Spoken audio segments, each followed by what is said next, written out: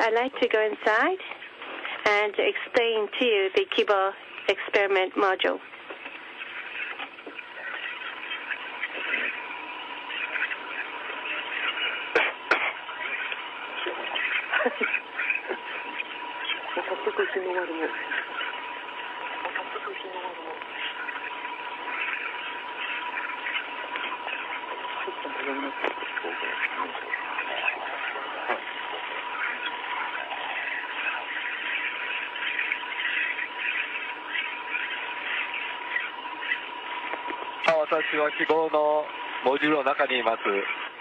I'm inside the Kibo module.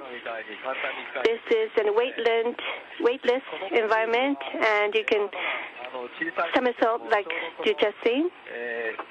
It's a very small space, but it is about four and a half tatami mats. But um, there are a lot of things installed inside.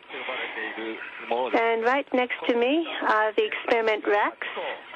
And there are eight of these racks inside the Kibo module.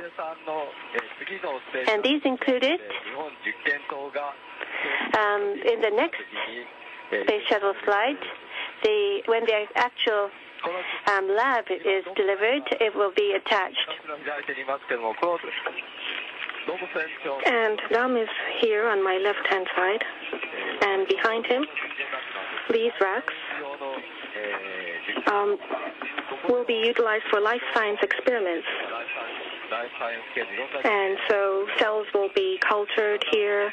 All kinds of experiments will be carried out using this, these racks.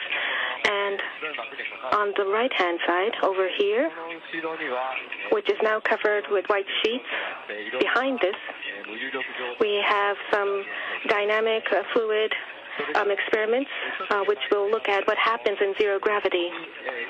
And toward the front here, we have another special experimental rack.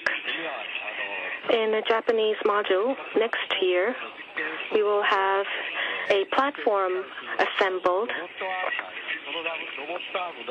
and a robot arm is placed here and therefore this will be used, utilized to operate that robotic arm.